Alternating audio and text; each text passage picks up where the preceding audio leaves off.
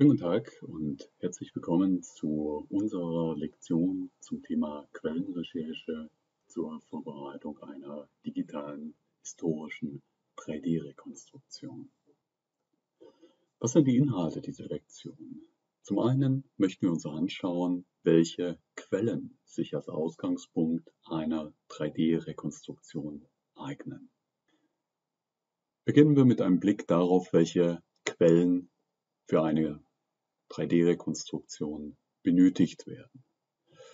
Auf der linken Seite also ein historisches Gebäude und benötigt werden für eine digitale 3D-Rekonstruktion insbesondere Maßinformationen. Das heißt Außenmaße, die Höhe des Gebäudes beispielsweise, aber auch im besonderen Geschosshöhen, Länge, Breite des Gebäudes, Dachhöhen, aber auch Abstandsinformationen beispielsweise zwischen Fenstern, zu Türen, zu Nachbargebäuden und weiteres.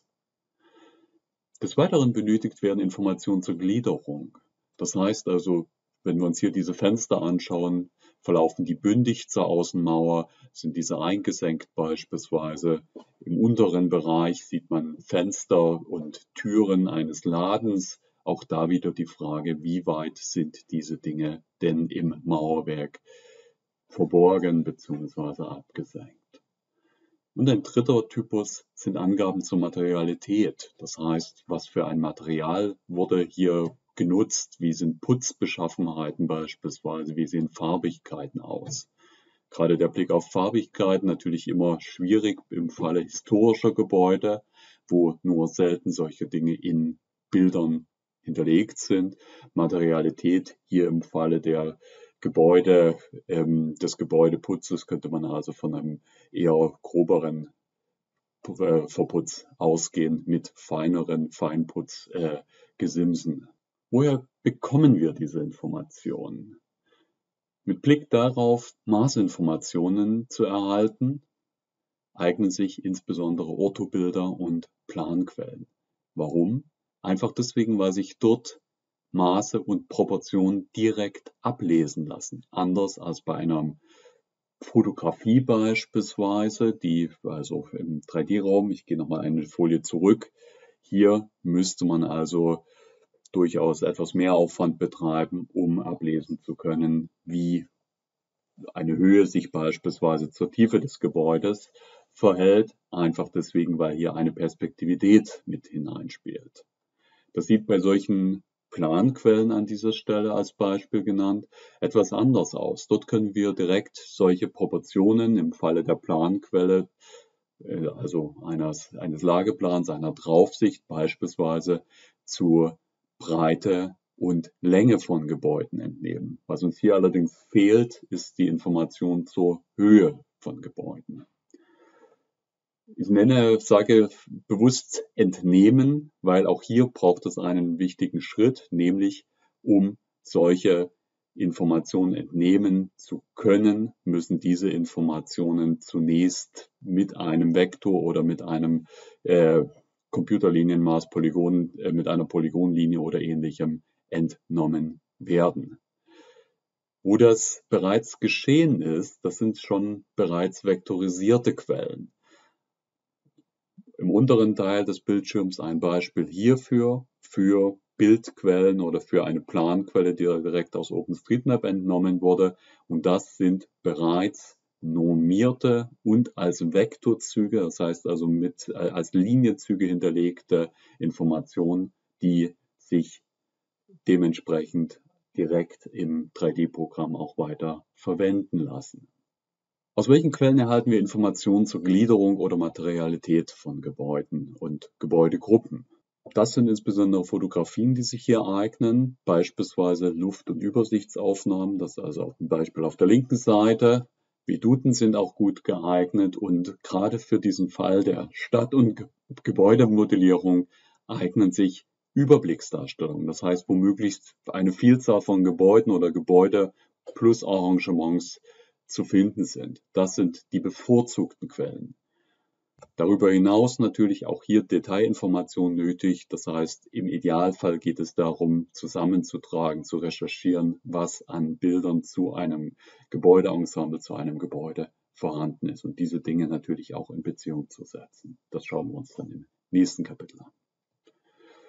Wo erhält man derartige Bildquellen? Es eignet sich natürlich immer auf Bildrepositorien zurückzugreifen. Ein Beispiel hier für die Europäer zeige ich mal kurz. Also der Europäer, Weblink ist hinterlegt hier, die Möglichkeit also auf eine Vielzahl von europäischen Bildrepositorien und Bildarchiven zuzugreifen und dort Bilder zu recherchieren. Europeana, also ein sogenannter Metadatenaggregator, das heißt, Europeana hostet diese Bilder nicht selbst, für, hat also nicht keine eigenständigen großen Server oder Datenbestand, äh, den äh, die Europäer pflegt, sondern erhält Informationen zu Beständen, die in einzelnen Bibliotheken liegen. Man sieht hier beispielsweise Ghent University Library oder Bodleian äh, Libraries der University of Oxford. Das sind also die eigentlichen Hoster der Bestände. Ich habe jetzt mal Jena eingegeben. Das heißt, wenn wir hier die Art des Mediums nochmal wählen würden, wir wollten ja bevorzugt Bildmedien haben, dann wird das Ganze schon etwas detaillierter. Auch hier sieht man, dass natürlich eine Vielzahl von Architekturaufnahmen, aber auch weitere Aufnahmen dazukommen. Wenn wir jetzt das nochmal etwas spezifischer machen, also vielleicht nach dem Eichplatz als Beispiel suchen, ja, dann finden wir im Falle von Jena gar kein Ergebnis.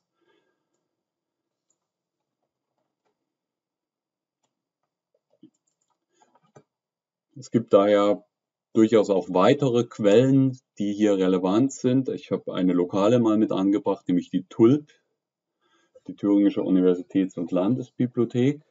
Also mit der Kollektion der TULP mal eingeben, Jena Eichplatz, dann finden wir hier zumindest ein bisschen etwas an Angaben. Auch hier wiederum Stadtansichten könnten wir hier auswählen, könnten also nochmal ein bisschen differenzieren, indem wir bloß jene angeben.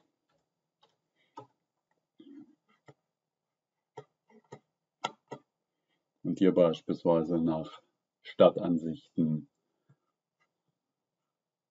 suchen würden.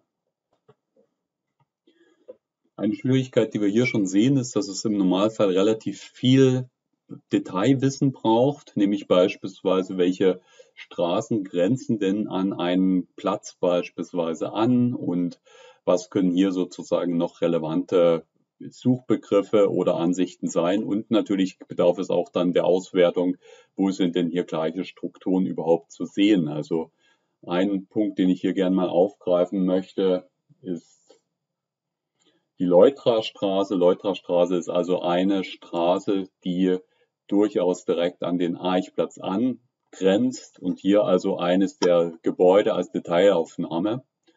Das wäre also etwas, was wir bei der Suche nach dem Eichplatz durchaus erstmal mit als Suchergebnis abspeichern würden. Eine weitere Sache ist das, wir haben jetzt natürlich nach Bildern gesucht, Stadtansichten. Ich würde, dass wir jetzt hier, ich bin jetzt einfach nochmal einen Schritt zurückgegangen, habe es wieder hergestellt. Das unterscheidet sich natürlich dann immer nach Sammlungen. Ähm, und ich würde hier jetzt zum Beispiel nochmal die Karten direkt aufgreifen. Also Kartenquellen sind immer welche, die natürlich sehr wertvoll sind, weil, wie schon gesagt, sie eben eine solche Orthoprojektion, eine solche Orthodarstellung, aus der man direkt äh, Proportionsaufnahmen äh, entnehmen kann, dann bieten. Man sieht auch hier schon eine, eine, einen großen Unterschied zwischen den einzelnen Karten. Gerade historische Karten sind natürlich ganz, ganz disparat. Und wenn wir uns also das mal anschauen und hier etwas reinzoomen würden in diese Karte, das kann ich hier oben in dem Viewer tun,